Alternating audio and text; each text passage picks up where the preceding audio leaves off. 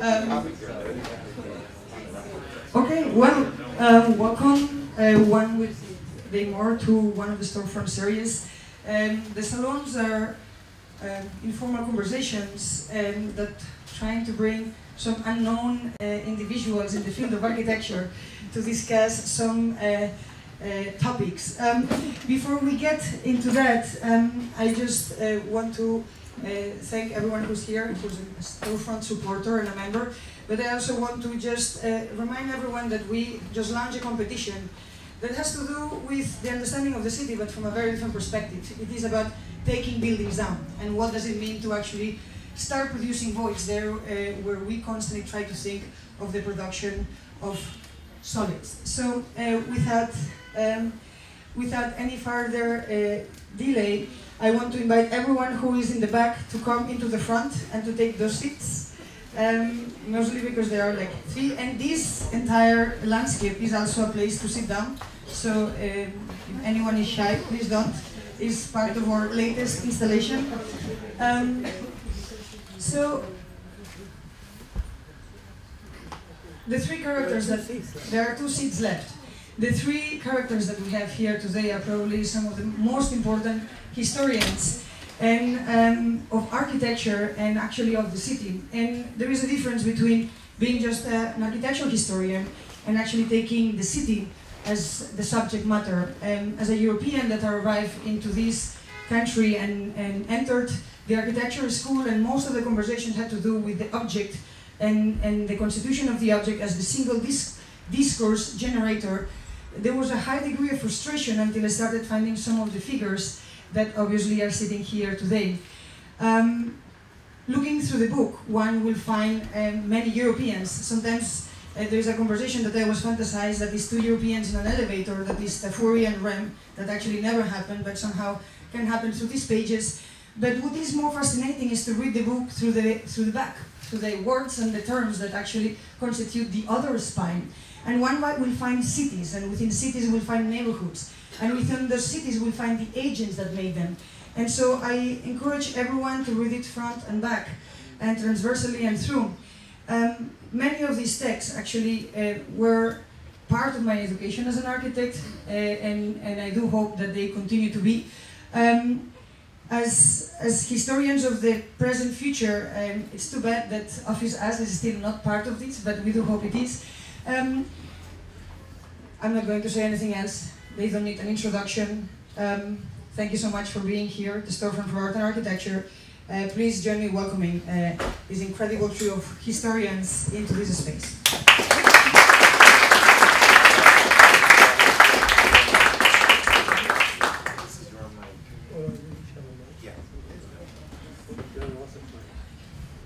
Okay, is this working? Maybe I need to do something. Is that okay? Is it okay? Everybody can hear? Great. Well, I'm going to start this off, and the first thing I want to do is to, you know, thank Storefront for agreeing to kind of host the event tonight. I'm very grateful and very happy to be here. Um, and next, I want to thank um, Reinhold and Kenneth for agreeing to uh, um, participate in this discussion with me about this book of mine. Um, and I, I want to especially salute Reinhold's magnanimity in doing so, because among other things that exist in this book is a critique of, of some of the arguments of Reinhold Martin. So um, hats off to him for his um, generosity of spirit in uh, uh, agreeing to participate in the conversation. There's not there. There are no hostile comments on Kenneth Frampton in the book Some that I, that I can some recall. embarrassing. Not Um, my reaction to Josephine. And then lastly, I want, just want to thank all of you for coming out tonight um, to hear this. I hope you don't go home disappointed. Um, so I I'm going to start us off, and I thought since since um, I know not all of you, maybe maybe hardly any of you have, uh, well, maybe you've looked at the book, but I doubt very many of you have read it yet. So I'm going to start off by just doing a, a short kind of overview. This is it's a collection of writings which spans my career, which while it is not as, yet as long as Kenneth Frampton's, it's definitely getting up there. Um, the first essay in the book was uh, written, or was published in 1969. So we are going back a ways. Um, and the last one was published in 2009. So there you have it, a span of uh, 40, 40 years from the, the oldest to the newest. And uh, it's also kind of interesting that the, the, after the introduction by my friend Francesco Garofalo from Rome, um, the first essay by me in the book is actually La Dimension Amoureuse in Architecture, which is the essay which accrued to me a certain minor notoriety in London, England in the late 60s. Um, was certainly the first thing of mine to attract any kind of significant attention in the architecture world.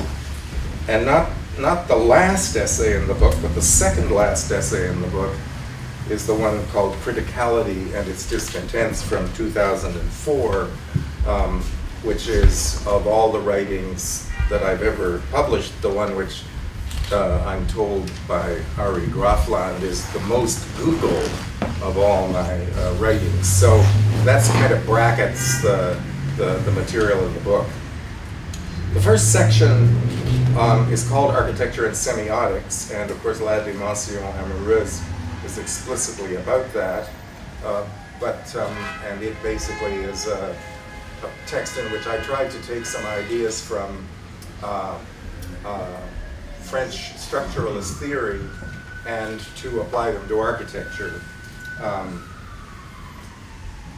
in the next one, uh, an essay called The Dining Position, I, um, I actually started to shift ground a little, and this um, I was in a discussion last night at Yale with uh, Peter Eisenman, and Peter has told me that this is when I began to lose him because I was shifting away from structuralism and in the direction of a more phenomenological approach to architectural theory.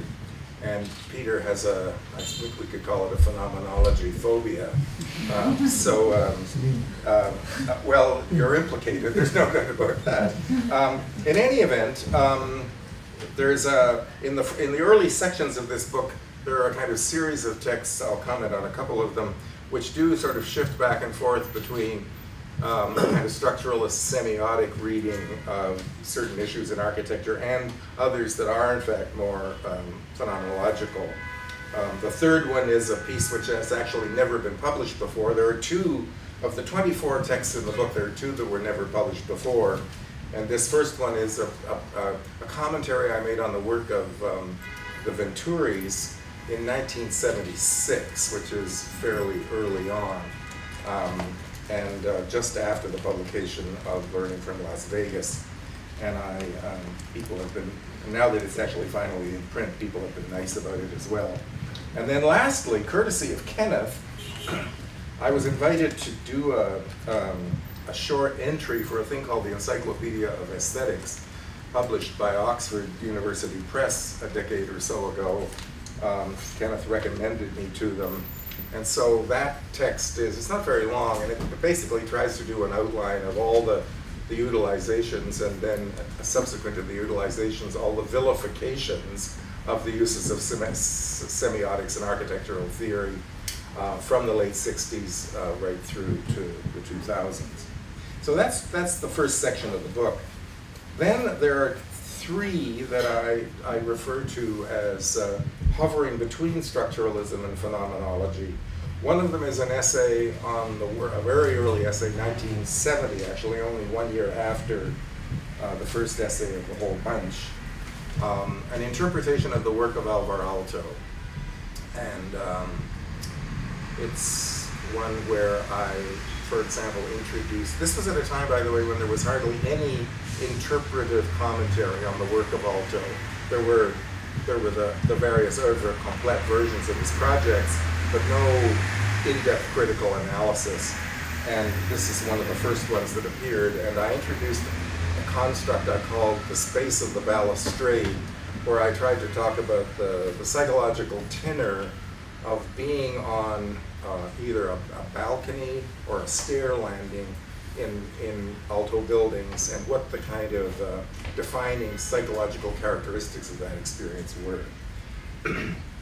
then there's a piece, curious piece, about my first visit to Rome, which happened when I was already in my 40s. Um, and it, it, because of the sort of odd tone it has, I put it in the phenomenology section as well. And then lastly, there's a piece that's quite recent from 2012. Oh, actually, that's the newest one in the book now. Sorry, not 2009.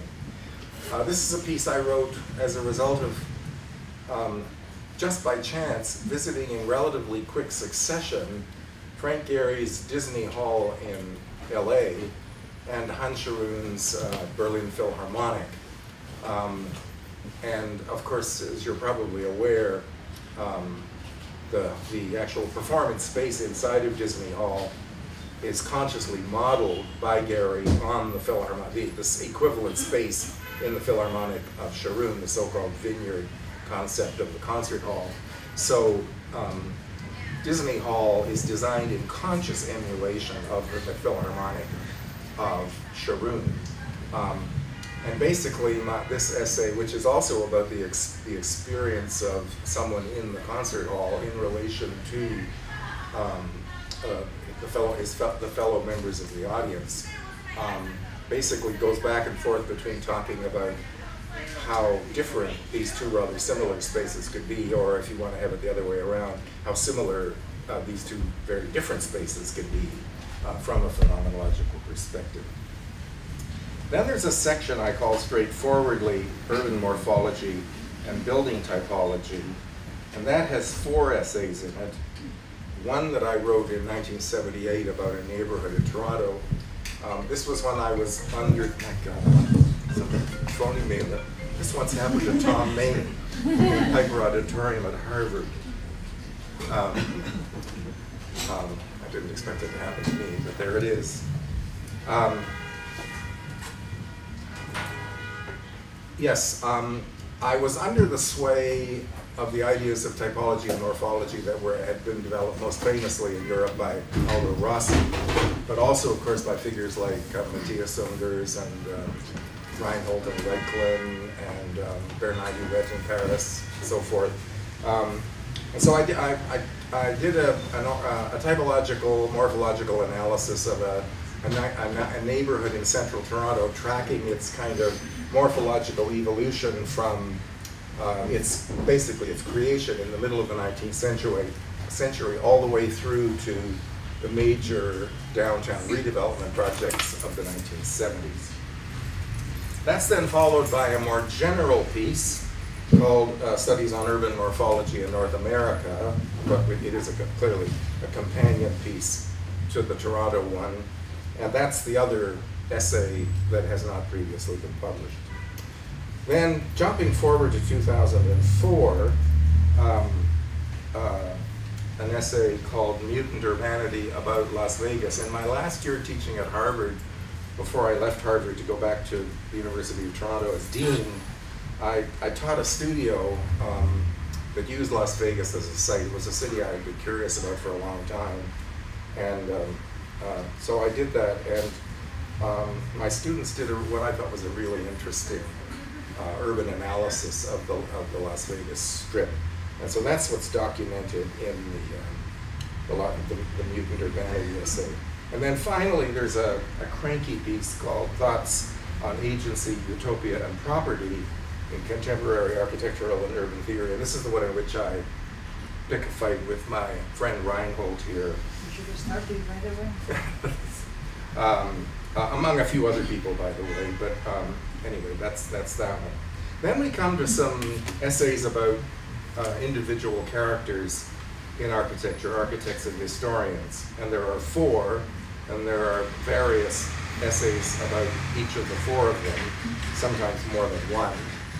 And those four are Rem Koolhaas, Ignasi de Sola Morales, Colin Rowe, and Joseph Rykwert.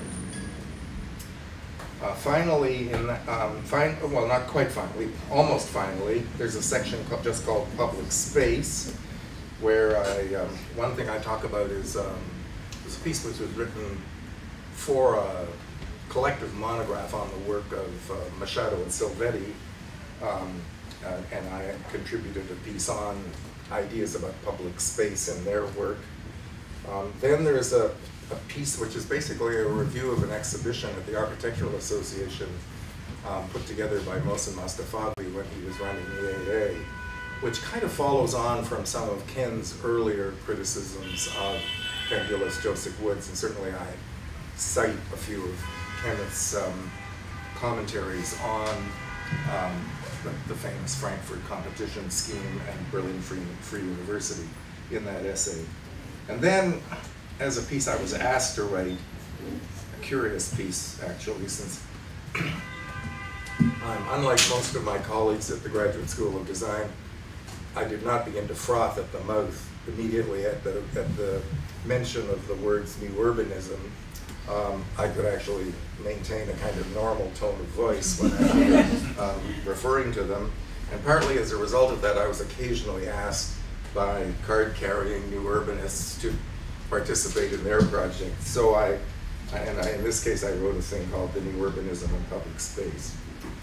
And then lastly, there are the two essays on the concept of criticality, including the one called Criticality and its Discontents, which, as I say, um, attracted uh, some degree of attention in architectural theoretical circles in uh, the mid-2000s, including some kind comments about it by Reinhold, actually. So that's the contents of the book. Um, it was, I enjoyed writing them all, although it was over the span of my career. I enjoyed even more um, putting them together in this volume. Um, Duncan McCorquodale, my publisher, was very nice about there were no restrictions on the number of photographs. And we and it's organized in such a way that the photographs actually appear um, you know with the relevant sections of the text rather than gang together at the end of chapters. So I think it's I'm, I've, and I've worked all my life to develop a prose style which while it tries to be serious also tries to be accessible.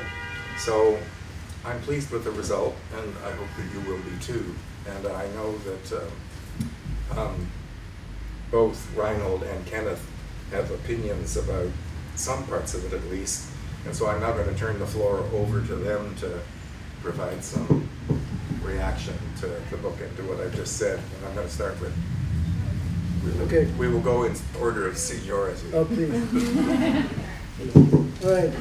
Anyway, you, you very kindly sent me this book when it first came out, and uh, you know, oh yeah, the microphone. That's the one. Yeah. Apparently, it, it does work. So. Yeah. Uh, well, uh, first thing I wanted to say is that when uh, George sent me a copy of the book, uh, and the raison d'etre for sending me a copy of the book, I think I remember correctly, was you know I was numbered among uh, his London friends to whom the book is in some ways dedicated. And uh, I responded immediately, you know, enthusiastically because I suppose, you know, for that very reason. But did I read the book? That's another question. so, uh, since I um, knew this event was going to happen, I realized, well, I do have to try to make a big effort to read this book. And it is the book has a, a, an enormous amount in it, and I spent a whole day actually uh, reading it and taking notes and things like that. And there are parts, of course, that must always happen, I think, in, anyway, in the collection of essays, that, you know, there are certain essays that you're attracted to, it's over a very long period and rather diverse, and other essays that you're uh, resistant to, you know. And um, so, you know, I don't know how much of the book I've really read, but quite a lot. And But there are certain parts which are sort of definitely not read. Um, for example, like, for whatever reason, maybe it was the illustrations, I couldn't uh, someone, someone up, courage to read the dining position, the question, the method. Um, but uh, anyway, um, I'm not going to dwell on this question of what I have and haven't read. I I actually, as, as, as George was speaking, I was thinking, he, he spoke particularly about this visit to Rome and the and reflections on visiting Rome, as I think he put it, sort of rather at a rather late age, so to speak, you know. And and uh, and then I, uh, uh, what is fascinating about that is that what George discovers basically is Rome is a medieval city. It has um, of course, Roman monuments in it, but the fundamental uh, fabric of the city is medieval. And this reminded me of Argan because um, in a very beautiful essay of Argan, well, it, it, it's the um, it's the Braziller book on the Renaissance, which begins with the kind of uh, you know um, striking words. We can say that the Renaissance city never existed. What existed was the medieval city with Renaissance set pieces planted in it. I think it's such a, an extraordinary perceptive um, remark, and um, I think it's totally convincing. And I often think about it. The Renaissance city never existed. And the other thing, though, bringing up Argan, is Argan is perhaps the first person to really introduce the discourse on typology. And in terms of your uh, connections to London and so on and so forth, is that in, I, I think it must have been 62 when I first uh, assumed this position as technical editor of the magazine Architectural Design, that uh, I knew Joseph Rykwert, of course, and Joseph, um, yes, Joseph wrote a piece on uh, you know, sort of kind of translation interpretation of Argan on typology that was published in the magazine, and it's a slightly um, it's a slightly enigmatic uh, idea in a way because what Argan does is to distinguish between type and model. Type is a kind of deep structural paradigm, as I take it, and the model is, you know, an explicit kind of pragmatic type that has been evolved, you know, but he, he, he doesn't put it in those terms. That, I think is a distinction he makes. But, you know, maybe it doesn't lead um, that far, but anyway, it is a connection to London, you, Rykwert, you know, Argan, Rome. I mean, these things circulate, you know, they, they come together in different ways. But the, the thing that, uh, uh, since, you know, this is like a sort of oral book review in a way, it seems to me, this occasion, you know, that if I were to write a book review, which again always leads, you know, to critics to write prejudicial book reviews because they also elect to emphasize this and not that and so on. Um, the, the thing that fascinates me most if I, if I was asked to say what one thing fascinates me about this book, it is uh, George's own recognition of the split in his writing and maybe in his, uh, in his being and perception between a structuralist view and a phenomenological view. And, and I, I find that kind of fascinating. I think it's uh, accurate, you know, I, I don't think it's I think it's correct in a way that that, that split can be discerned in, in George's total output in some, to some extent. And um, which brings me to two texts which I, because of my, much to Peter Eisenman's distress, my phenomenological tendencies, I, I uh, these two texts, one on Aalto and one on, which you just referred to, and one on um, the reflect, the, actually the only kind of comparative critique in the book, really, uh, at the level of a building, at the level of buildings, you know, between uh, Gehry's Disney Concert Hall and and the Philharmonic in Berlin.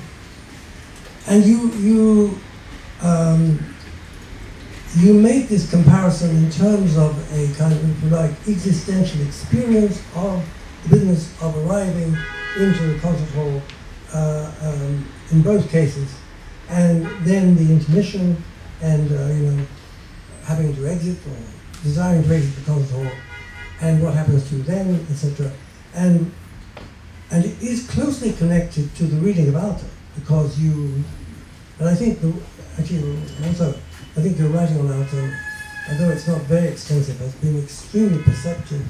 I, I've used it myself a number of times recently in a text I wrote in honor of Alberto Perez Gomez, uh, which was uh, where I tried to make the argument that of the, the pioneers, Aalto was perhaps the one who could still be developed now with, with relevance.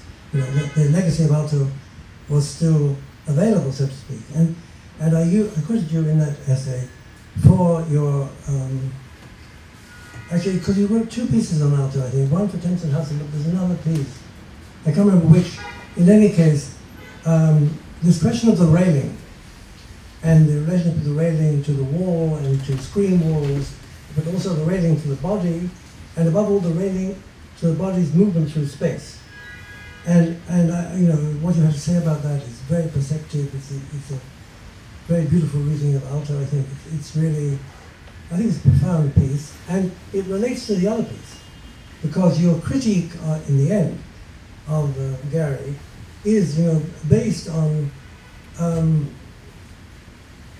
Gehry's neglect of this question of the movement of the body through space. That, that's what it's really about in the end. And I think, and now I'm going to cause a lot of trouble because Thomas is sitting right there, but I think it's on the edge of pathological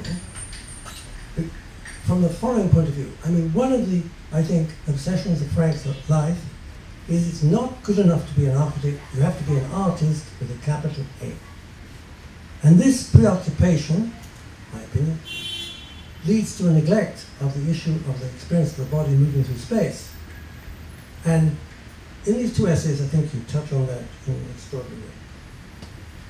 Um, I mean, the, well, both the Aalto essay and I mean the comparison between the Concert Hall and um, Scharoun Philharmonic. A figure that I was surprised is so important to you is Colin Rowe, really. I mean, I hadn't realized before until reading the book that Colin Rowe is a kind of inspiration and, and something of a preoccupation. And it, it and I've, I'm still trying to write this book you, so I'm still fiddling around with it. But I mean, the question of la dimension amoureuse, I mean, finally, what is the, the la dimension amoureuse? It is rhetoric. And, and what you like about Rowe is rhetoric. You know, the rhetoric of Rowe is what really is to do, you know, it's what it's, it's extremely brilliant. Rowe's rhetoric is extremely brilliant and very seductive, I think. Um, well, it, it's probably not the place to um, sort of dwell on this too much. I mean, I mean, I, I you know, I, I, well, of course, as we know, Peter Eisenman was a, the pupil of Colin Rowe. Uh, if George and myself, although he may not admit it, will never recover from Hannah Arendt.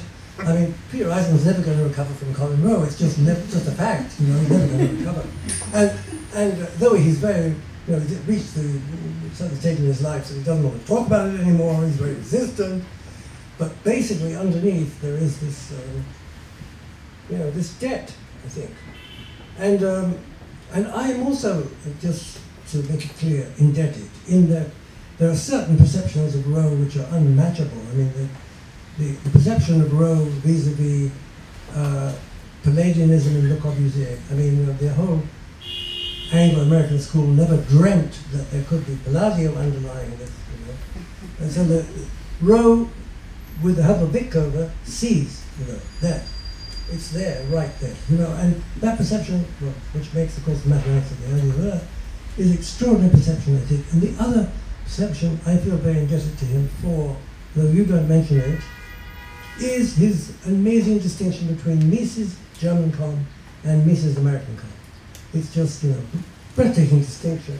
You know, the, the, the, the, the column demanding, you know, the, the, the, that the enclosure of space or the subdivision of space should miss the column, and the H I section, American I section, demanding that the petition should come into it. You know, that that, I mean, there are variations on this, but that perception of that opposition, and you talk about the opposition in Rowe, Rowe's thought, but you never actually mention, well, there's no reason why you should, but you don't mention that particular item which has meant, still means a lot to me. And, um, all right, I don't know where to go now because uh, these are not too extensive, but um, I'll shut up in a minute, I think. Uh, um, well, you know, I think one, one of the issues arises that I, I also uh, indulged at, some point in a, collect, a, collection of essays which is sold incredibly badly. I'm sorry, but they have sold pretty badly. Well, that may be to do with the fact that um, Phaidon is not making an effort to sell it. but uh, um, uh, anyway, um,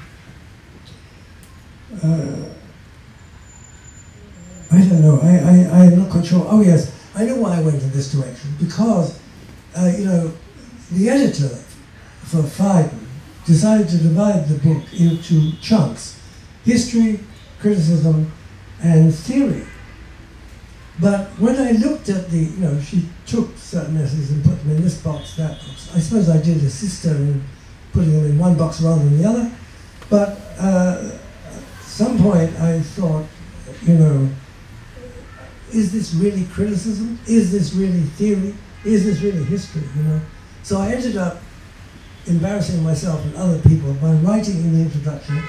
I don't think I'm really, uh, strictly speaking, a historian. I don't think I'm strictly speaking a theorist. I don't think I'm strictly speaking a critic. And I lamely said, Oh, I, this is really embarrassing, that I'm a writer on architecture. You know, I, I, I couldn't, I don't know, it embarrassed me, this division of the thing into these three categories. And it raises the issue, I'll stop with this, that if you ask the question, of what is architectural criticism, in the light of, of your book, you know, mostly it's a criticism of theory and a criticism of the theory of others. But it's not criticism of architecture qua architecture. You know. And so if you ask the question, what is architectural criticism, you know, you, you, have, you have a kind of, uh, it sits there as a kind of uh, challenge, I think, for it, not for me, but also maybe for others. That's my first take. Thank you. Okay. So what do you want to talk about? well, first of all, uh, congratulations, George. I mean, uh, you know, Entica, right? You know, you guys. Uh, it, this this takes a lot to do, and, and it really has to be acknowledged. Um, I mean, we talked about the panorama uh, and and the amount of time uh, uh, that, that you know a kind of career in a sense is captured here, but but I think also um, Ken touched on this at the end, and maybe that's someplace where I could say, because you know, as George said, I'm the outsider to this. Um, I, you know, a kind of sometime participant in some of these things that are being described and and and uh, contested, but, I don't want to make any kind of synthetic comments about any of that. We could talk about some specifics if, if people want. Um, but I guess that there may be two things. I, I could to, to pick up Ken's point or a question, I guess, about, about what, what type of writing. I suppose the implication of your question is what type of writing or writings uh, are gathered in, together in a book like this. Um, and maybe George should answer that at some point, but uh, I think most of us would probably somehow lean towards describing this kind of work as criticism, but at the same time, you know, I think if you look at this historically, this is a very specific type of writing in, in architecture. There's relatively little that precedes it, you know, in the, let's say decades, earlier decades in the 20th century, uh, which tended to be more polemical, and more programmatic and, their, you know, when people would write short uh, observational essays, they, they would tend to be more dogmatic. And there's, there's almost nothing that, that succeeds it.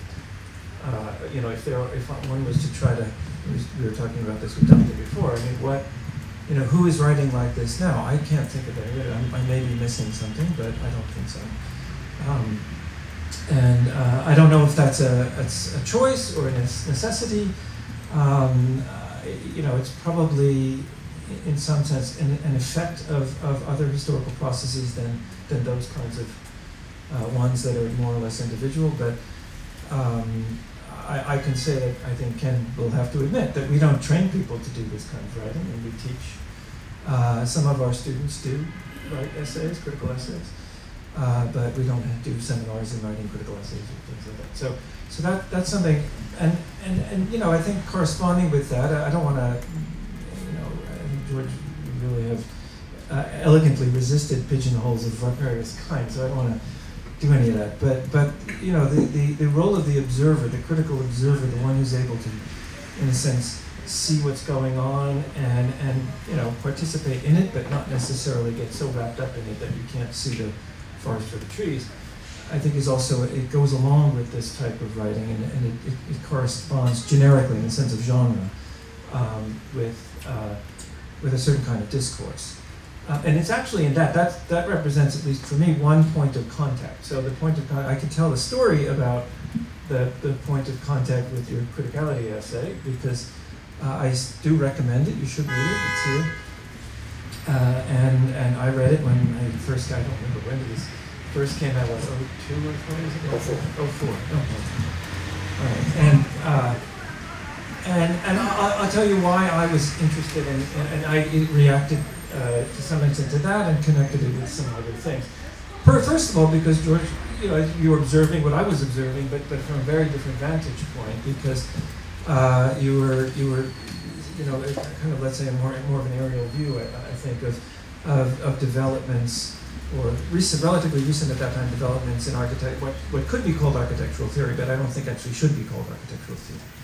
Um, and uh, so, so you know that had to do with the rejection of critique and so on and so forth. And I thought you, ex- you explained that very well and very, very tangibly in a way that that was theoretically accurate, but, but also accessible to, to the kind of readers that, that need to read those kinds of things um, in order to under, in order not to read, in order to understand what's at stake. So okay, so anyway, the context for this for me well, it wasn't exactly architectural theory. It was the it was history. It was it was the aftermath of 9/11, and and I have to say I I, rem- I, I retained this position at that time. Uh, like many of us, you know, I was involved in many discussions of various kinds, probably mostly with people who weren't in architecture, about about what, what was happening, what had happened in New York, what, what was happening in the world, uh, and so on. And I was profoundly embarrassed. I have to say, I was utterly I mean, deeply, and I remain deeply embarrassed about the way this field, such as it is, responded to that. And, and so, what I then, you know, in a sense, saw the possibility of was what, what you were talking about as a relatively internal, something that was going on in the schools and you know, in the magazines and so on, was reflecting or, or refracting, maybe better, um, a more general disposition uh, in which which cultural producers of, of the sort that are, you know, gathered under, under the term, under the category of architecture here in, in a place like New York and, and elsewhere in, uh, in North America, um, were unable to actually uh, take an articulate critical position in, with respect to historical processes. And, and like the ones that we now name 9-11 and so on, are things associated with that. And, and and, and so what, what you had was a kind of coming together of, of, of, a relatively esoteric provincial storm in teacup kind of debate about whether we could, should still criticize uh, the uh, precedent or, or whatever. I mean, all kinds of things that could or couldn't be challenged. Uh, and, and then this, this bigger societal question as to whether it was still possible to, to take a critical position within now becoming a society that was effectively becoming totalitarian in its relation to discourse, to, to, to independent discourse. And, and so those two things came together. I, I don't know if you read this book, you know, if there are any of the other essays, maybe you, you could say something in which you could, you could see in a sense, basically what I'm describing is things that are going on inside the teacup, in, inside architecture, in the, in the game, so to speak, that, that we all to some extent play, and in the world. Um, and uh, isomorphically, metonymically, uh, you know, refractively, whatever, but, but some, some sort of structural relationship between this uh, and that. Um, and, and then I, I guess I'll, I'll, since you have, have, more or less invited me to do this, I'll, I'll, I'll add to this um, some comments about your you know, reading of, of, my book. This was later, I guess, right? Because uh, yes, yeah, the other it's quite, actually quite late. Yeah, yeah. This is about the book Utopia's Ghost and about postmodernism and so on and so forth. Um, and I, I don't know. I mean, so you know, I was we were talking with David before about when you when you do things and they go out in the world and they come back to you in ways you just don't recognize. So I, I didn't recognize my book. So I said, okay, it's fine. it wasn't the book that I wrote. So I, but perhaps you were you were trying to get at other things, and maybe my text was a useful thing. My guess is that what you were trying, what you were really challenging, and this is this is where Ken's comments about typology matter and, and, many of the other things we were discussing by implication, not directly. You were, you were basically challenging my use of Marxist theory. And you responded in, your essay with, uh, uh, with, with, with property, with personal private property uh, as the lever of the, of the, the, the source, the kind of, if I you know remember this correctly, the sort of um, uh, fulcrum around which some form of agency could be, from which some kind of agency, presumably in more or less individual agency, could be um, leveraged uh, over and against the structural critique of like large-scale macroeconomic forces and so on and so forth that you're associating with, with Marxist uh, discourse. What was not explicit in that book, but I would like to be able to make explicit, is ex exactly the kind of things uh, that we cannot talk about because we have lost the ability to do so. And, and I think this is maybe, you know, because Ken and I, we've talked about this endlessly, uh, constantly, we always talk about politics, um, is, you know, why is it not possible for us, for example, to discuss uh, what at some point was the socialist alternative to what we're describing? Why is it not possible to, to discuss really structural transformations? So when you say, you know, structure agency, what those guys meant in the 60s, Althusser and everybody else, was structural. They were trying to get at what, the, what is preventing or, or, or enabling, what could prevent or could enable structural transformation, systemic transformation.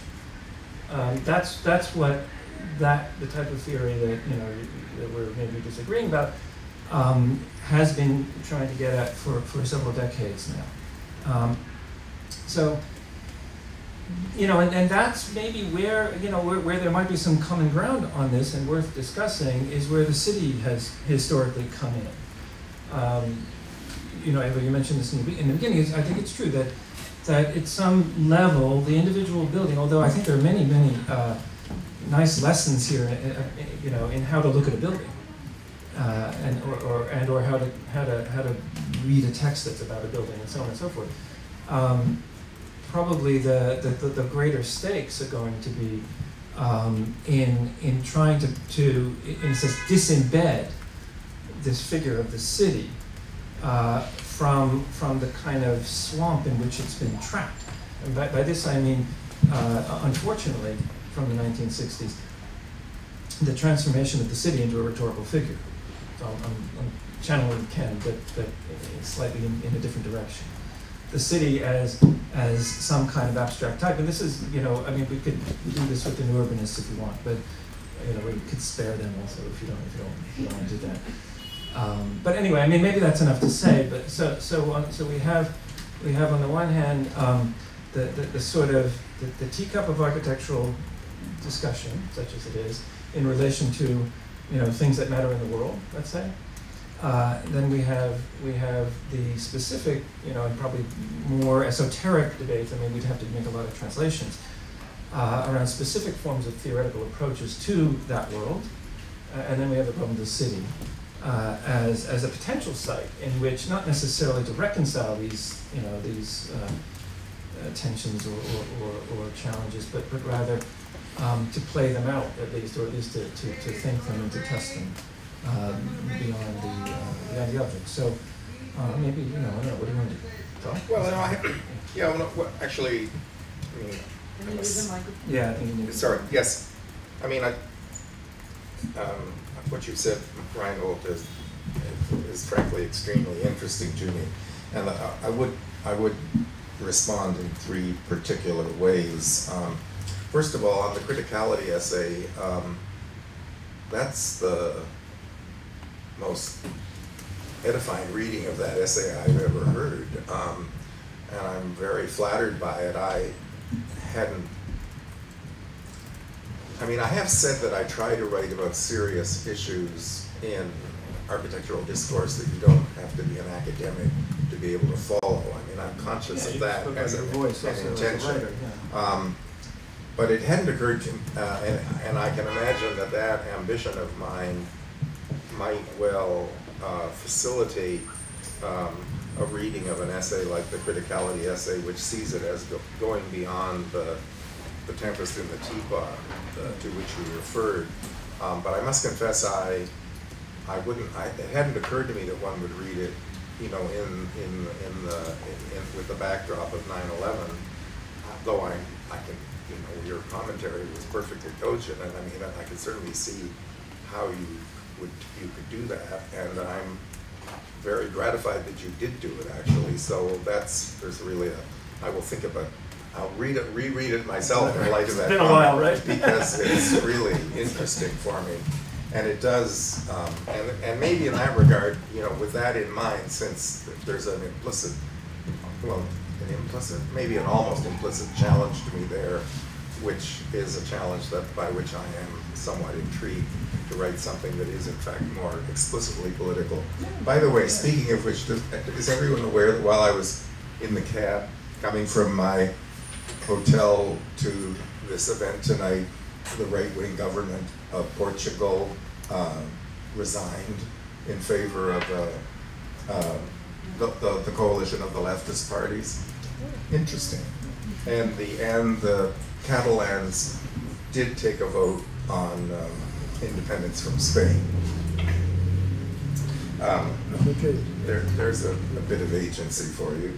Um, so now, then to come to the agency essay, the, the, I mean, Reinhold is right that it, well, we've agreed that this is the essay in which I address his Utopia book critically. Um, but it's true that um, uh, uh, my target, um, well, there, there, there's a constellation of targets in the essay, and it's probably fair to say that the essay is a bit of a mongrel, and that it, um, it probably, it could maybe be broken into uh, two or three different pieces. Part of it is a, uh, is a kind of critique of Jameson, and in particular his, um, well, first of all, the obduracy of his, you know, Marxist stance, which strikes me as um, problematic. I, I'm, and I, I, suppose just to put my cards on the table, I should say that I, I can't, I, I can't actually see how the economic program of Marxism can any longer be you know, credibly defended. But that having been said, I do find myself in the, in the kind of ironical position of supposing that in any kind of cultural discourse that I would think of as you know, cogent, it is impossible to get along without the construct of false consciousness. Now, Reinhold being more orthodox in these matters than I am could, easily come at me with a kind of withering critique of how the, the impossibility of having the one without the other.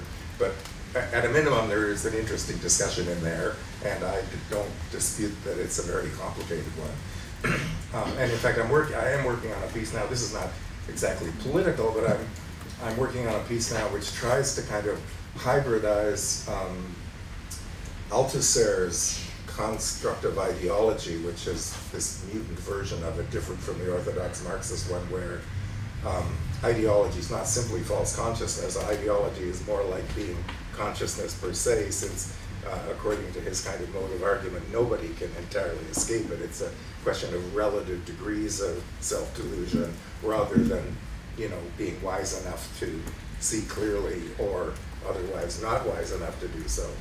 Um, and I'm, I'm actually interested in that it, it, had occurred to me that that could be that could be described almost as a sort of phenomenological version of ideology because it's so um, all-encompassing in the same way that the world for phenomenological philosophers is, you know, the horizon of existence. Um, so um, anyway, there's, for my money, at least there's food for thought in, in, there. But to come back to Jameson, um, the, the proposition of utopia as a, um, uh, a kind of um, ongoing referent in the kind of theorizing of Jameson, which is um, cannot be associated with the present. It you know clearly kind of transcends the present politically in terms of being other other than the present and um, you know in, in, some fundamental sense remote from it at the same time that it is um, desirable. Um, uh, and that in conjunction with the kinds of um, um, you know, hard Marxist disparagements of ameliorative political um, activities. So that um, that bothered me, and what, and in effect, what the, the, the carryover of that into Reinhold's Utopia book for me was, well, first of all, the his identification of the what what shall we call it, the heroic period modernism or orthodox modernism, some uncontaminated version of modern modern architecture, such as existed, shall we say, in the, in the 20s. I mean, there could be a big discussion about historical boundaries and so forth and so on. But for argument's sake, maybe this will do as a working definition of that as a as a kind of analog of utopia for his mode of argument. Um, in relation to which um, postmodernism constitutes a kind of um, immoral betrayal. I think that's a fair way of putting it. And so that um, uh, that uh, uh, that's that's a, a, kind of uh, a sufficiently charged schema as to sort of trigger my resistance. Um, so um, so it's in that respect actually that I. Um, um kind of found myself in, in, in, including uh, Reinhold's or parts of Reinhold's book in my um, uh, my uh, dissenting from the kind of James, the, Jamesonian schema, partly in Jameson, primarily in Jameson himself, but secondarily ascribing um, a somewhat Jamesonian schema to to uh, Reinhold's own uh, mode of, of argumentation. So, but I agree that that's muddy in my essay, and it's and in fact I I don't um, uh, to come to agency and property for a moment. I mean I'm interested in the phenomenon of agency. This has come straight from Arendt for me because it's a it's another mode of action, another way of talking about action, which does seem to me to um, it has its constraints to be sure, um, but it, it has not disappeared from the face of the earth. Um, and then I'm just, and lastly, just the property phenomenon. I'm partly interested in property in um, through an Arendtian lens because she, you know, starts out from uh, John Locke's idea that property and citizenship had some, um, uh, you know, connect, necessary or pressing connection between them, maybe not I don't think she does actually think it's necessary, but she certainly thought it, for a per historical period it was necessary. Um, and, um, and then the other side of the coin with property is what I would have to say, not that um, the argument, uh, the, the supposition that private property would cease to exist in the world was such a naive and unexamined assumption of pretty much the whole modern movement that um, it just strikes me as kind of preposterous no, that it, it hasn't um, it hasn't been more um, uh, closely scrutinized.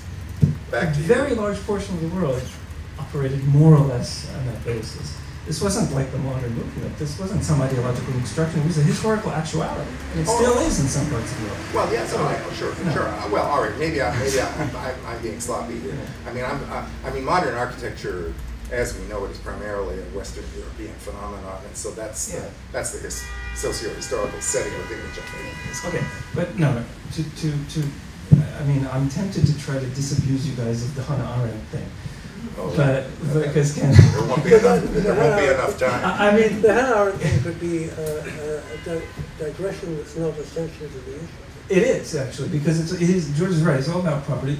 The, the, the oh, it is all about property. Yes, it is because it's about the classical oikos. It's about the condition in the as in the Lockean uh, schema is for citizenship in the Greek polis, which is her ideal for public appearance, is is is home ownership essentially is, is in male home ownership uh, preferably with slaves in the home to look after uh, what's going on. So, um, and Such everything. A reductive reading no, that's actually what she says. She's, totally she, everything else is is uh, is housekeeping. Um, anyway, but but that's for another day because we have to read carefully the book. Um, on on the on modernism, you know, I think. Okay, I'll try to explain the title. Uh, I did this in a seminar the other day. Maybe I can. Uh, Ghost right? It's, it's called Utopia's Ghost. So it's not about utopia, it's about the ghost. And, and the idea basically is actually not, this was actually, if, anything, an attempt to be kind to postmodernism. Uh, not in the in the from the, the very generous of you. Yeah, I know. I know. Say more than you've been. well, since we live in it totally, I mean, what? Yeah, no, I, I mean, I mean, in this yeah. case, architectural postmodernism. Just just to be more precise. Um, because it has seemed to me, and I think this is this is maybe you know as a since these are kind of closer to home kind of thing, that that the the pro, the, the, the Le Corbusier had to answer the question architectural revolution, right? He had he posed the question and answered it in a specific way. That question is no longer a question historically. What is the question? Uh, the architectural revolution question, right? But so now this is the point about modernism. So so in other words, there there, there was an historical present that is no longer. So it's not just a, a, a kind of. Um, but all of this is obvious. Where are you going with it? I want to know. It's Uh, obvious that it's no longer relevant. Right, I'm answering his question. I'm answering his question. question. I'm answering his question. You know, His his que- his his thing had to do with his, his thing about idealizing modernism, uh, as right. I mean, as as a sort of you know pure and, and un- unadulterated uh, utopian uh, imagination. That now, the very simple thing is to ask the practical question: Under what conditions would it be possible to think systemic change? To think that that the, what, what the broader thing called postmodernism, the thing we're talking about, Ken, could be changed. That's a utopian thought. In that, I'm with Jameson. Most of the rest of the book is a critique of Jameson. So, and it's a critique of Jameson, the critique generally about the methodol- of the methodology of ideology critique, uh, rather than a deployment of that. But, but in that, at that, in that kind of register, I'm definitely with him. That, that the problem is to learn to think systemic change. Like, under what conditions? could you actually plausibly ask the question, architecture or revolution again? And, and you know, you can answer it in lots of ways, but, but you, we would all agree that that would not be an easy question to ask right now, right? It wouldn't, Can I- can for I- certain reasons. You know. It wouldn't be because Use the the scale. Yeah, you're my. I mean, that that question becomes. It worked. That question becomes, you know, in, in the end, you know, a, a non sequitur because the scale of the dilemma with which human beings are currently faced transcends all of that possibility. It- no, it does because you know the scale. Let's take, for instance, recently I've been reading, you know, about the problem of water, for example. Water in Sao Paulo. We have 22 million people in Sao Paulo. The the the uh, I mean, and this is just one case, you know. But I mean, the state of advanced capital, and here of course we do it, but is such that you know human beings have created and are creating totally and utterly intractable situations. Yeah. And by what structural change you can come out of that intractable situation, it's very difficult to say.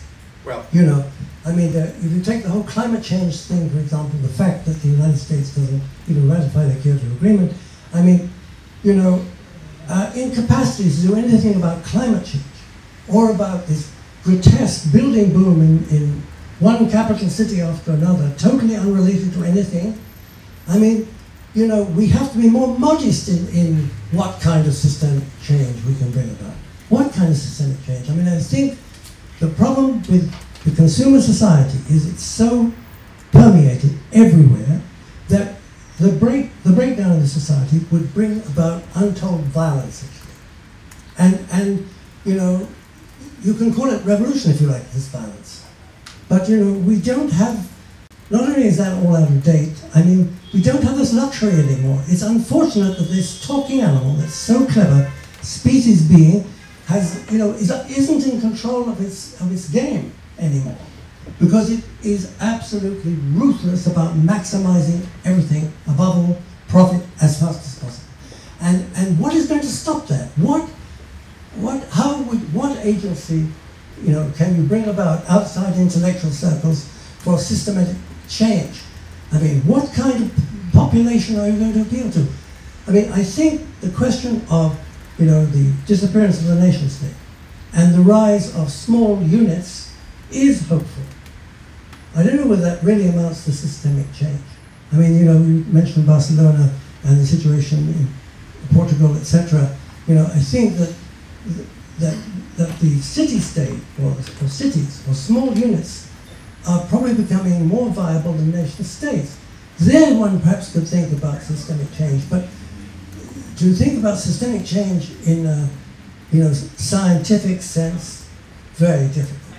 may I, may I, I- not without disagreeing with anything that you just said, or for that matter, what Reinhold said just before it, can I, I- I, there's one more thing, there's one more, there's one more thing that Reinhold said, which I would like to um, uh, put back to him and also put to you at the same time, Kenneth, which is a little um, more directly related to the book. And that Yeah, was to we do can't wait for with. it.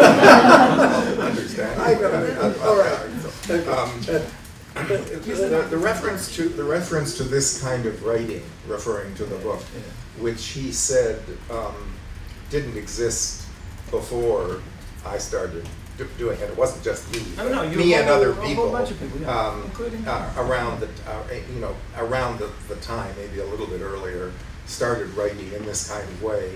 Um, and I agree with that part of Reinhold's um, uh, characterization, and certainly I can say for myself that in the late 60s and early 70s, I, w- uh, I mean, because I was, and this may be a, a reflection of age, um, I was so frustrated with the um, intellectual vacuity of conventional professional discourse about architecture. I mean, that's why I went back to school, was because I thought um, thinking about architecture required a more robust intellectual underpinning than I had got from my professional education in architecture or that I saw in architectural education in other schools, certainly in North America. Um, and I was lucky enough to, I didn't realize that in, go, in it, going to London, I went to London for purely pragmatic reasons, how, how, how ironical it is. I'm a Canadian and it was easy to get scholarship money to go to Britain, the colonies and all that. Um, um, but lo and behold, London turned out to be one of the, well, what Michael Hays calls the two loci of the emergence of architectural theory, you know, it, it, London and Venice being the, the two places where it was happening. So I agree with Reinhold that it was indeed the start of something new. And for my part, at least, I can say that um, I thought my, my colleagues and I knew that we were starting something new. So, so far, so good. But then we come to the other part of your statement, which is that it doesn't exist anymore. Well- And that, um, that it, not only did it start in the late 60s, early 70s, but that it's now, I, I took you to say that it's over, it's finished. Oh, you I don't didn't? know, I, I'm just saying, I mean, I can't think of I see. anybody else. So, Well, what, what's your read of that? Because that, that was a, uh, that was a surprise, that comment of yours was a surprise to me. So I wouldn't mind unpacking it a I- little I'm regretting this. I mean, I'm not, believe me, I'm not trying to announce the end of anything. I'm just saying, why isn't there anybody, you know, systematically writing the way you, you know, we're talking? well, we, I mean, in a Well, what about you? No, but I don't, I don't do that. I mean, I read a few essays here and there, but not, not this kind No, but these are, these are just collective essays. maybe by forty years. I had it all up. No, but I I think, you know, probably, you know, in Spain and in Portugal and, Yeah, maybe. yeah, there are, you know, very clever intellects and we don't, you know, if you don't read Spanish, you don't, you know, you don't have access to Yeah, them. You're right, And, and that's true. Well, I- Yeah, yeah, okay. There was, there's a suggestion that maybe some people on the floor may want to ask something or object to something they've heard so far. So shall we open it up? Can I continue the last question? Sure.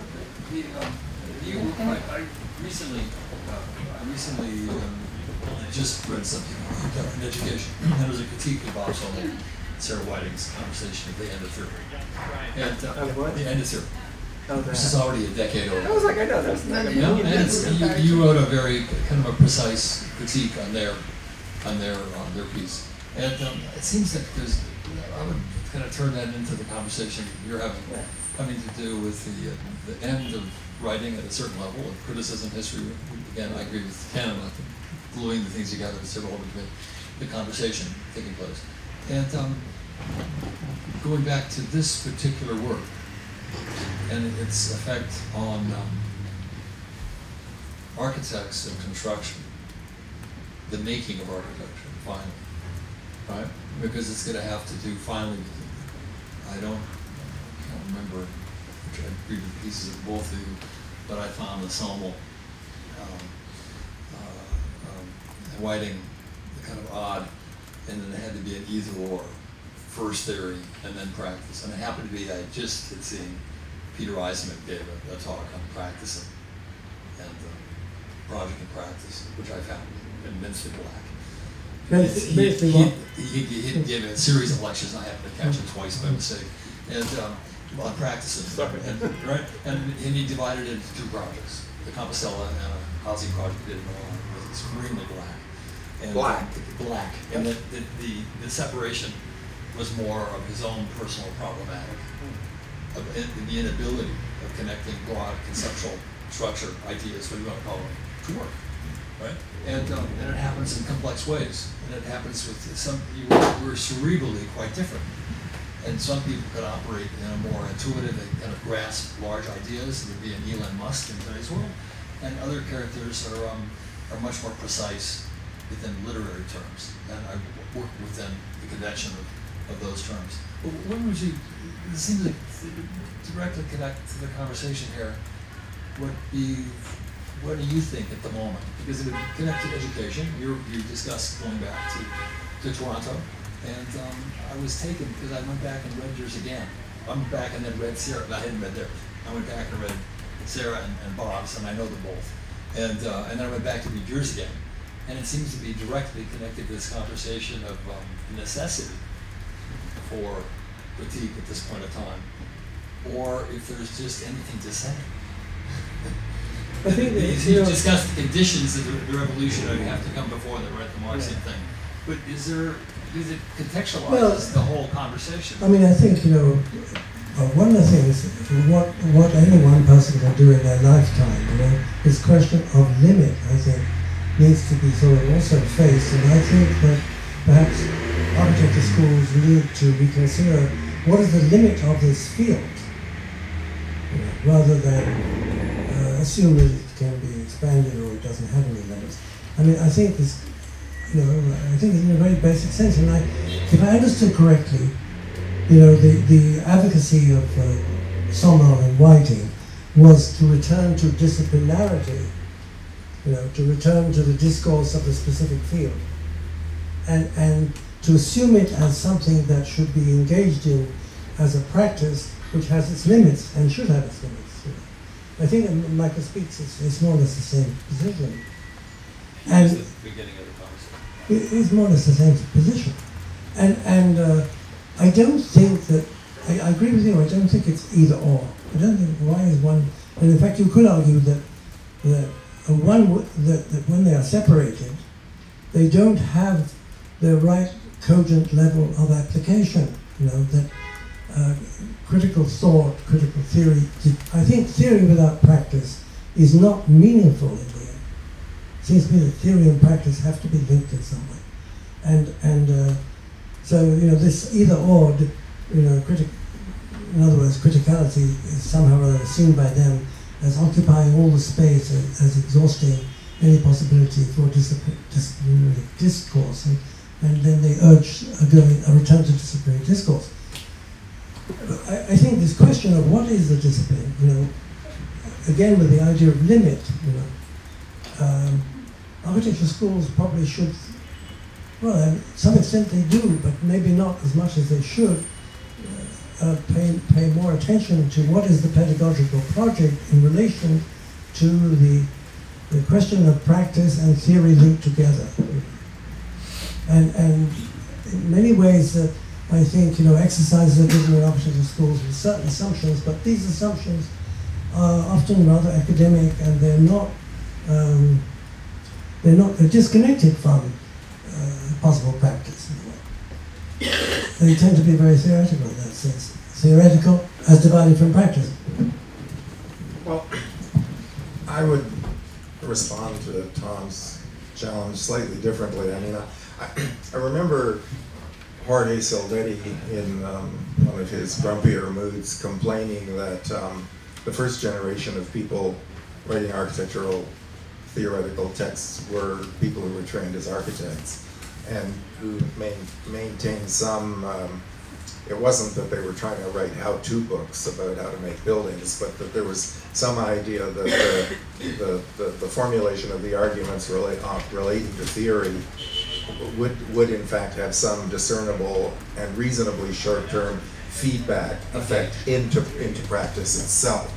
Um, and he became frustrated in the, what we might, the emergence of what we might call the assemblage generation of, of architectural theorists who um, many of whom weren't architects to start with, um, and at least weren't trained as architects, and who also um, uh, seemed less interested in the urgency of the feedback component of the process, so that uh, theory was gradually, you know, losing its connection with the, the, the discourse of, of architectural discipline itself.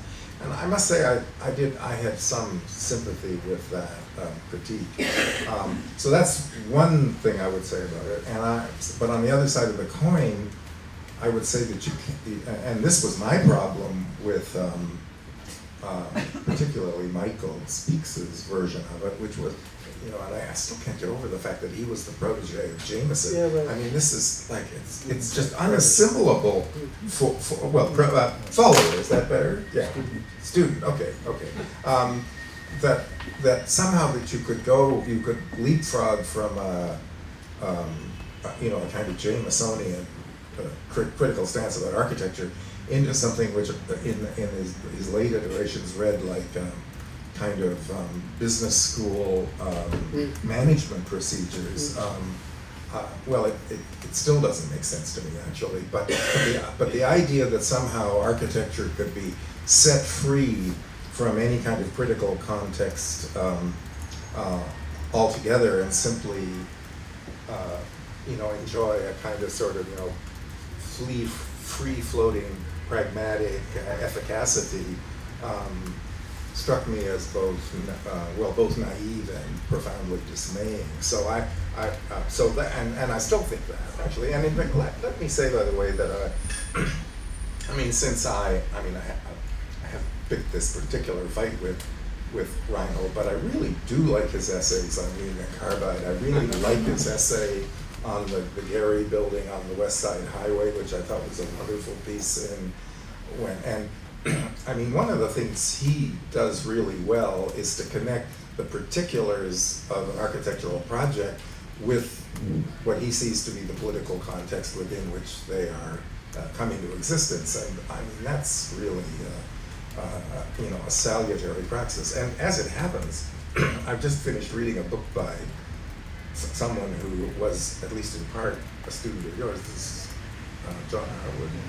Um, John, I don't know if people are familiar with John Harwood's book called The Interface, which is um, um, uh, a history of design practices in the context of the evolution of IBM as a corporation between the, the 50s and the 70s.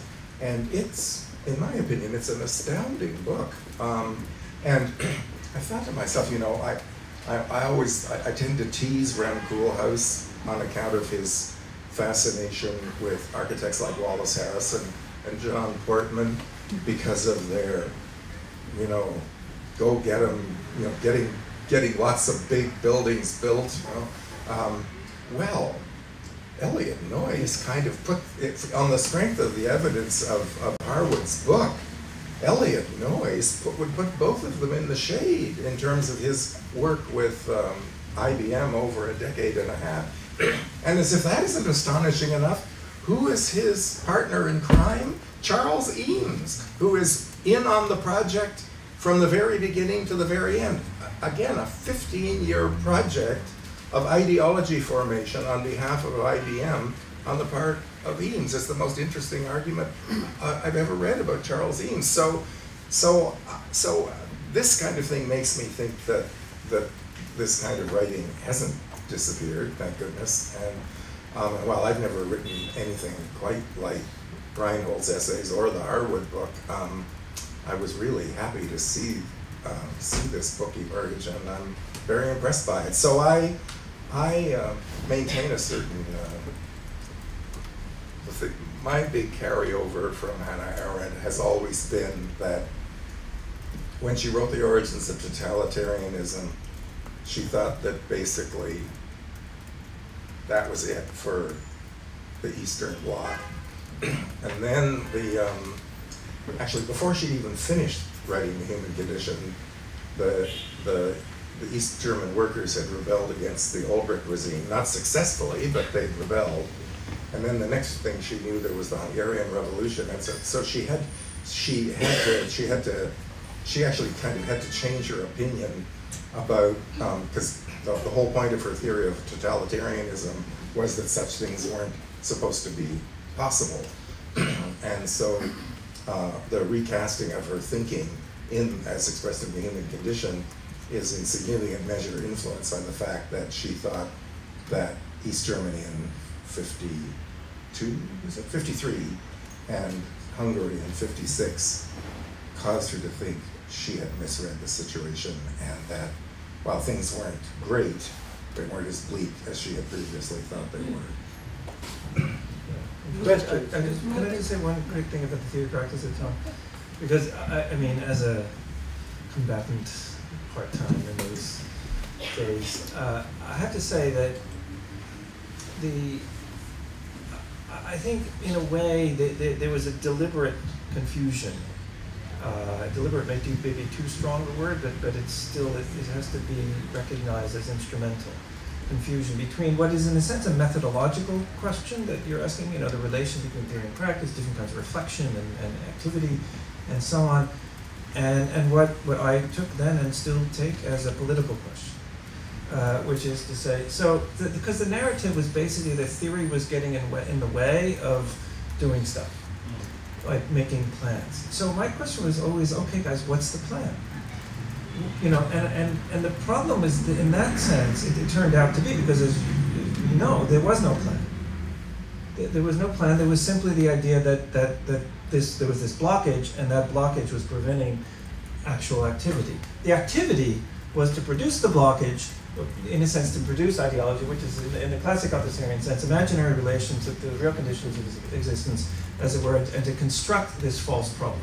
But you'd have to Yeah. include the failure of the theoreticians in their practice as a group. Which ones? Compared, you looked at the certain. Oh, you mean the Eisenman leaders? The incredible failure within the work compared to another group of people, a name Well- group, whether it's our group, Blauer, uh, Herzog, name the person I mean, represented an anti, Oh, let's say, non, I think I'm trying to simplify, Yeah. anti-theoretical, clearly strong conceptual ideas, like Yeah, yeah. frank and blah, blah, blah, and you'd have to include, it, it, it is an historian now, looking in the last three decades, the conclusion of a set of ideas that started as the number houses with Peter, Yeah. and the early Sure, work sure, of, sure. of, of, of Venturi, et cetera, Sure. that you could say was a, um, finally a failure. Well, I was going to say. addressed the complexity of the types of problems Yeah. within social, political, economic, infrastructural terms. Yes, And and the that- differentiation of those projects in Right. terms of scale that represents modern society. Right. The- I was going to say very quick. The one answer, the, su- the Singular successful, monolithic ideas. right? The successful answer was the new urbanism, and and that that's important to acknowledge and and to take seriously, and that's why you should be George's essay on that. Okay, anyway, there are more questions. Yes, sir. Is there a question? The very back. Can I have your microphone? Yeah, because you're it?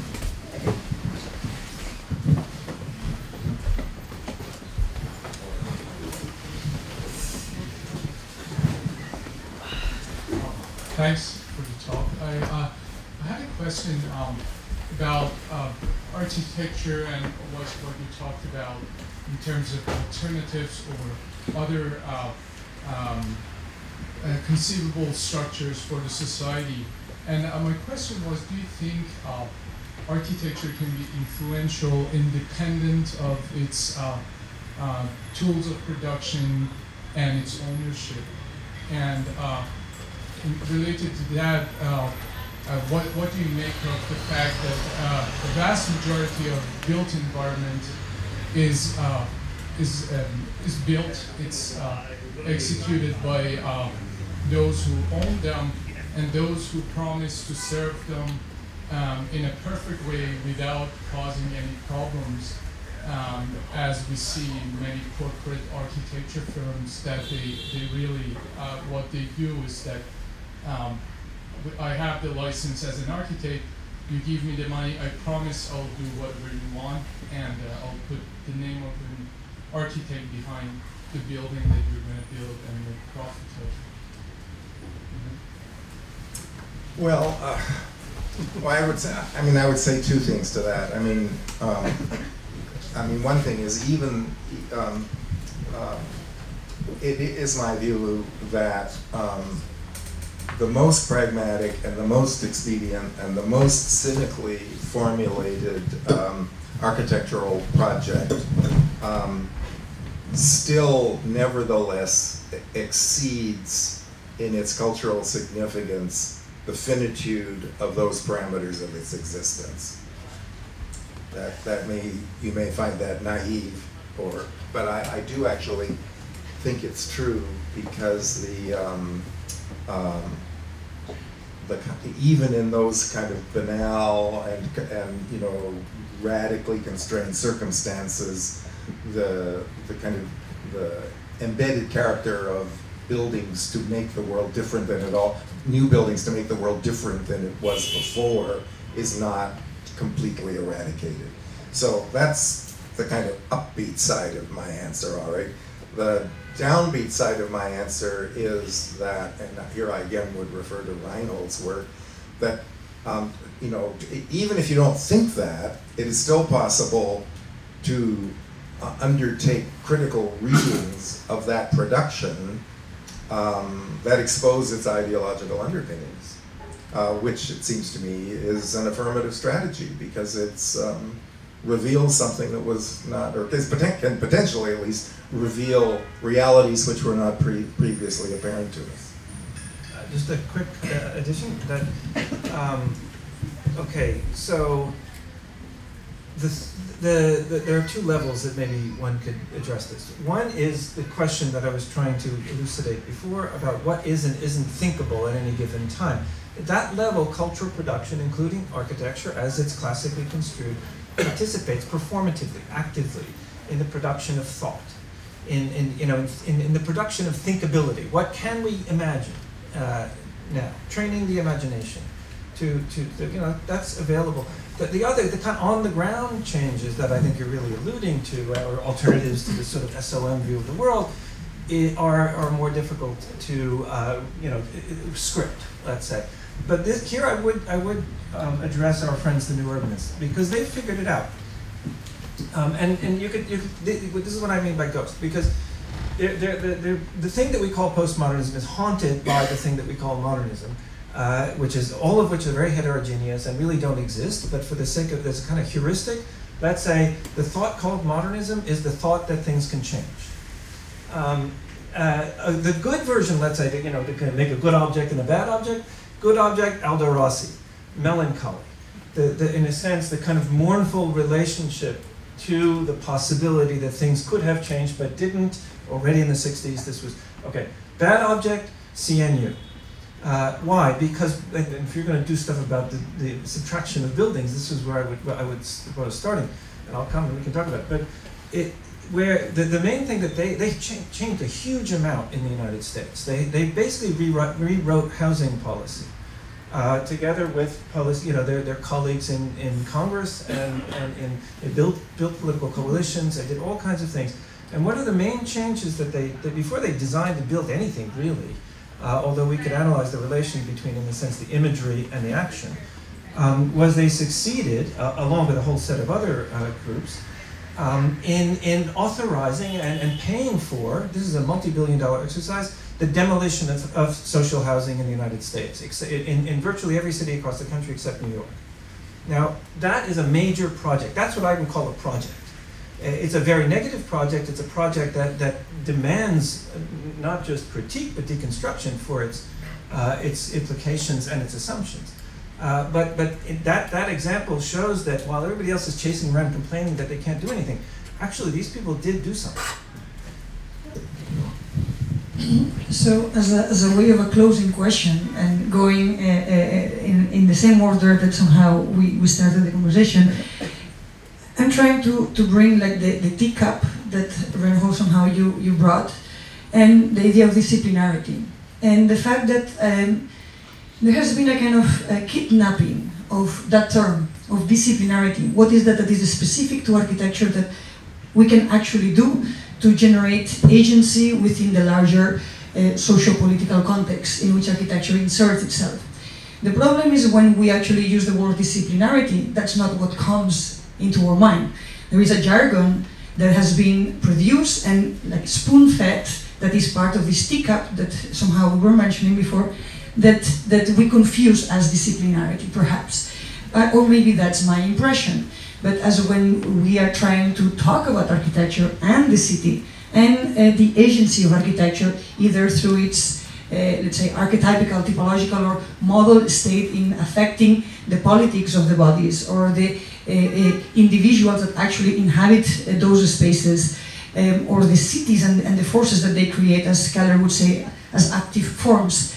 Should we start uh, to reclaim the term of disciplinarity by introducing new terms and new ways of speaking about what architecture can actually do to participate in its larger uh, uh, context that means society and the world at large. So, in, in decreasing order of, of seniority, I, I would like if, if we could just end with that. Should we change disciplinarity or are we fine with that kind of space we have inherited so far? It's a huge topic, but I, mean, I just would like to say something about material because I think that in a way although maybe I'm misinformed, material isn't emphasized enough perhaps in architecture schools. And um, I recently attended a conference on wood that was started by someone very spontaneously. And um, I learned a lot of interesting things about wood, you know. Um, well, one of the issues about wood, of course, is it's a renewable resource. And um, uh, and it is the material with the least embodied energy from sustainably managed forests. And but the interesting fact, which I didn't know, is that the uh, relatively speaking, Austria produces out of its forests much more than the United States produces out of its forests. And in fact, of course, the United States could produce enormous amount of wealth, employment, and many things out of the greater exploitation of its forests than it does today. And um, there, there, are kind of simple things which are almost like metaphors for me. I mean, the fact is that wood, you know, sequesters carbon dioxide. Wood, uh, concrete, steel uh, exudes carbon dioxide. You know, I mean, there are some you know, very interesting basic things about this material. I mean, it has been scientifically proven that people living in a, in a wooden environment, I know this sounds very cranky, but wood has the effect of lowering the uh, heart rate and also lowering the blood pressure of figures living in wooden environments. And, and it has been, I think, scientifically established that this is the case.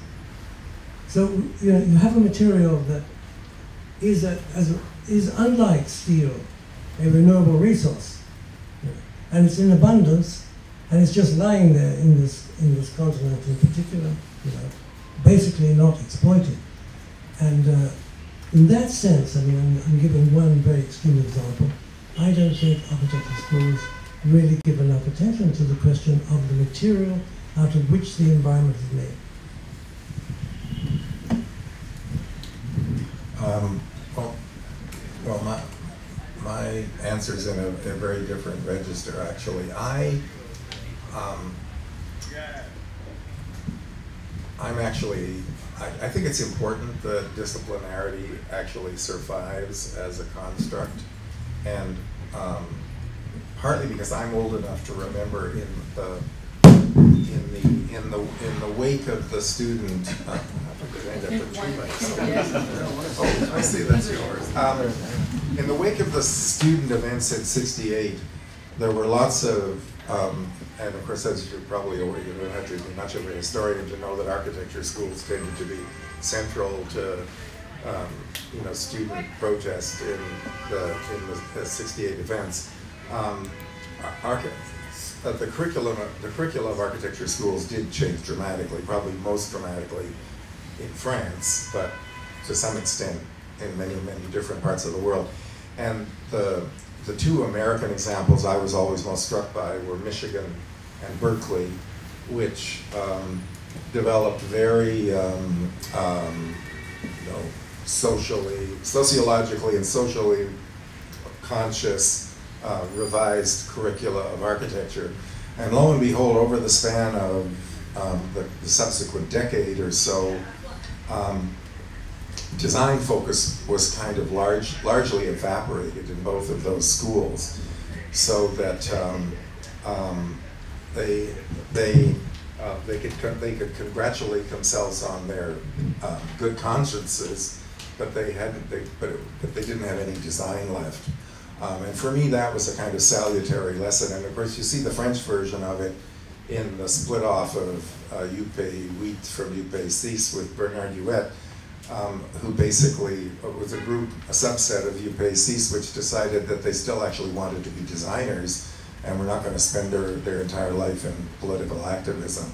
So these are these are some arguments why I would say, and in this respect, I mean, I had this, I was having a, a, a discussion at Yale last night with Peter Eisenman, as I already said, and I, while Peter's position about architecture in 92% of re- respects is completely different, I do agree with him that disciplinary matters and that the formal project as a component of that discipline also matters.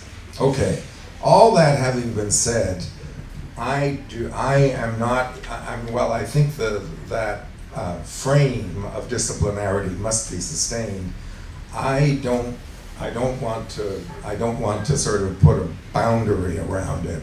And in that respect, I don't have any problem with self-built houses or popular mechanics um, manuals of uh, construction or any any conceivable vernacular of self-build that anybody wants to mention, because um, as I've said, that the, the the act of make of constructing buildings is an affirmative social praxis which you don't have to be an architect to participate in. And one of the reasons, one of the things people in general like about architecture is that architects are people who can do that like them, except they can do it with a much greater degree of dexterity and sophistication. And the idea that you don't make a boundary between the homemade version and the Pritzker prize-winning version but see them as a kind of spectrum seems to me to be a really good thing for architecture. So that's where I come down on this question. So, okay. Um, no. but to be precise. But it, it, you know, when I hear discipline, I hear scholarly discipline first. But that, that, that's because that's the world that I live in most of the time, and, and they're clearly not. Uh, nevertheless, I mean, you know, what this comes down to is like what department you teach in and, and what books you read and things like that. Uh, but not clearly like anything goes, everything is all the same. No, in, in fact, there are versions of, um, of the kind of leverage and specificity that you're seeking that also operate there. I just wouldn't call them disciplinarity uh, exactly. Um, there are certain specificities, there are forms of knowledge, that there is something like expertise. Um, but, uh, but, but always, always, always with a question mark. Always uh, in, in, a, in, you know, in, in some kind of a doubt. And, and so one of the reasons I think we're in this kind of conundrum it's, it's, what, it's the process really that what matters here. It's the disciplines, the, the, the academic disciplines are the product, they're historical. Right? They, they're the product of the, of the reorganization of knowledge in Europe and, and, and then later in the United States in the 19th century. Uh, and this had to do a great deal with the production of, of, a, of a, in a sense, um, an intelligentsia adequate to the nation, to the nation state, the new nations, including that, that you know that's not really what's at stake anymore in the same way. So so in the, in the, in the scholarly level, the question is what is an intellectual who speaks the language of architecture? Who is that? That, that we've been talking a bit about that. Okay, the other one, the one that's probably closer to, to where I think you're starting at least. Uh, you know, at the, at the level of practice, I would I would associate much more directly with the profession. Uh, yes, there is disciplinarity, but but that that's where the shell game starts where, where these kind of jargons are invented and, and fake problems kind of uh, persist and reorganize. That's where ideology happens. The ideology happens when, when what is a professional practice, a service profession, in fact, as he said back there, um, is converted in, into a kind of mystified um, uh, kind of uh, form of, uh, of magic. So, so, for example, uh, uh, an example of, of action, of, of, meaningful action in this case, which, which is not, does not satisfy most of the criteria that are implied in the term that I can give from somebody who, who, who studied with me one class I, I taught at Yale before I taught at Columbia. His name is Raphael Sperry, and he's uh, he's an architect in San Francisco, and he's uh, he's an activist. Basically, he's also a practicing architect, and he spent a lot of time the last couple of years trying to convince the AIA um, to officially. Uh, officially, uh, basically um, boycott or or uh, divest from the production of prisons. Mm-hmm. Right? In other words, that architects, you know, whatever else you do, do not design a prison in the United States or anywhere else. Uh, and that kind of move. Now that's a very architectural move. It's you know strictly typologically architectural. In fact, we could write a whole history of it. And and yet that was impossible. He, he found it very difficult to, to make that happen. So that's where you know the kind of things that I, I think you're maybe looking. Okay, what the question then would be what would have to change in order for that not to be an impossible thing, very practical thing.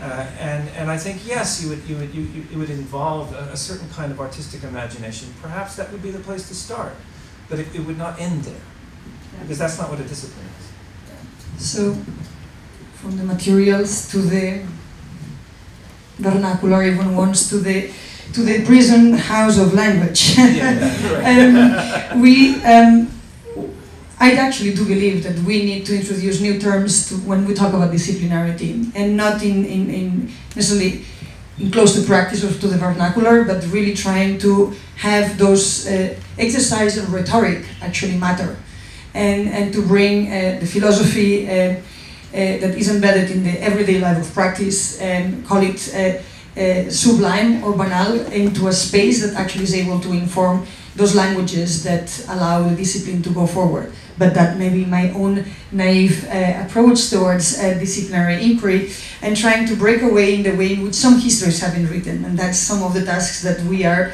embedded uh, with, with this project of Afizas. I, I want to give you the last word, but I want to thank this for an amazing, amazing conversation that I didn't expect that would happen. So, um, please. I'm, I'm, I'm only going to say uh, thank you again and more deeply the second time around than the first, uh, Reinhold and Kenneth, for agreeing to do this with me. I'm most grateful to them. And thank you. There are even more of you here now than there were when we started. So I'm most, and to the best of my knowledge, only one or two of you have actually walked out on us. So I'm very, I'm very gratified not only by your presence, but by your continuing presence. Thank you so much.